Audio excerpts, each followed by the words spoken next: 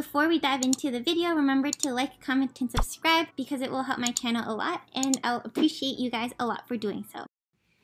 Should you do Moonlight Grace? The few reasons why you wouldn't do Moonlight Grace would be number one, you don't have enough diamonds, and number two, you're saving up for the Hell event. And for those of you who are not caught up with what the latest buzz is about the Hell event. There is a Hell event that's supposed to come. It could be For Dreams, it also may not be. The only reason why it may not be is because For Dreams is way after our storyline, so we're not even there yet, so it doesn't really make sense to give us four dreams.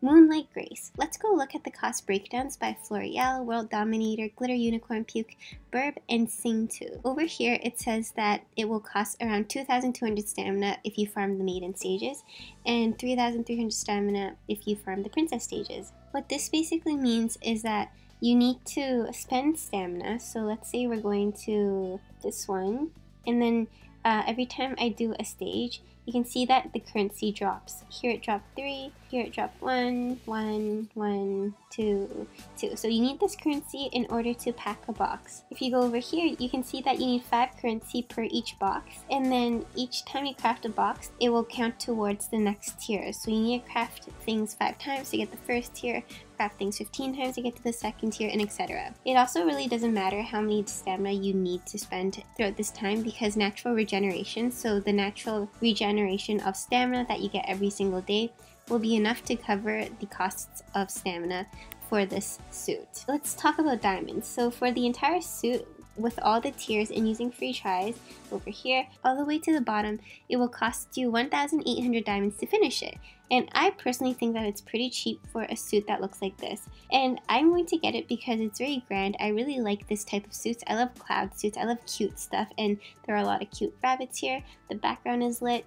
Um, the makeup is cool. Everything about this is just really nice and enticing to me. I know a lot of people don't like this suit, but if you don't like it, then don't spend diamonds on it and you can save up for the next Hell event or the next event that might come. And also another thing, don't worry if you can't get it now, even if you really, really want it, because these suits will eventually return in the future. Let's move on to the spreadsheet created by Florielle, Asteric, Yumi, Fireburb, and Syngtu. I will put the link to the spreadsheet in my description box. If I forget, please spam me and I promise I'll link it, but I'll do I'll do my best to do it this time. So yeah. So let's just look at how many free things you can get from just free tries. Over here, if you look in the sheet, it so it shows you that with zero diamonds, so all the way up to the fourth row, you can get Reed Feathers, you can get Victorious Order, Worshipping the Moon, and Cinnamon Breeze. So that correlates to the same tiers over here. You can get up to the fourth tier here, and Cinnamon Breeze is a let me see what that is. Oh, so Cinnamon Breeze are the petals around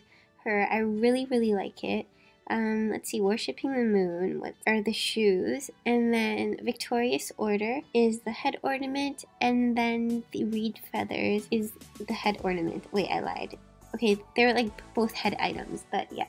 So those are the items you can get for free. I think that's pretty good, you know. I really, really do enjoy this outfit, and I know I'm going to be spending quite a lot of diamonds I know it's like 1,800. It's still a little, but still a lot given how much I have. And I know you guys are going to be like, oh my god, Effie says she has so little diamonds, but she has like 7,000 diamonds. But this is like relative to how much diamonds you need in order to complete a hell event. So right now I'm way below the threshold of finishing a hell event and I'm still going to choose to finish these suits that I like. And yeah, I like the hell event, but I'll figure it out when the time comes. Maybe I won't fully complete the hell event. Maybe I'll just do two stages. Who knows? Okay, so the last thing I wanted to mention is how you can get Guard of Glory for basically free. Because if you check over here in the events and then you go to Guard of Glory, you need to spend or you need to consume, which is the same thing, uh, 999 diamonds in order to get the suit.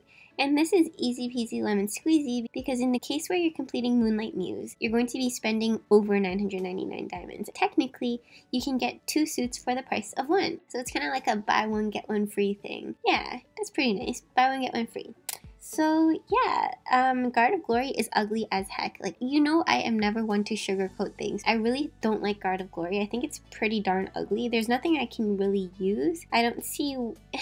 It just the hair, the dress, everything is just like, eh, but I just want to increase my wardrobe count and it makes sense for me to finish Moonlight Muse now and just get the suit because like I'm just going to have to get it anyways even if I don't want to. So yeah, this is how you can get two for the price of one. I know people might be hesitant in spending the packs because they're like, oh no, does it count if I spend diamonds on the packs? Like will it count or do I need to buy something from the store?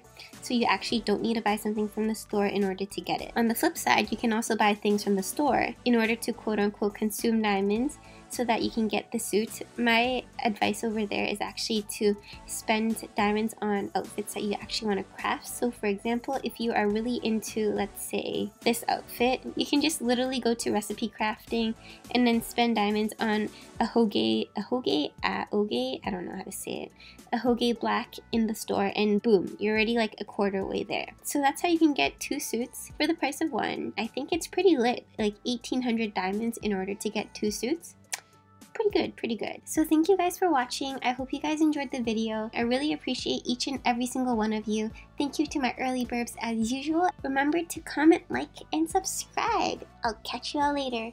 Bye!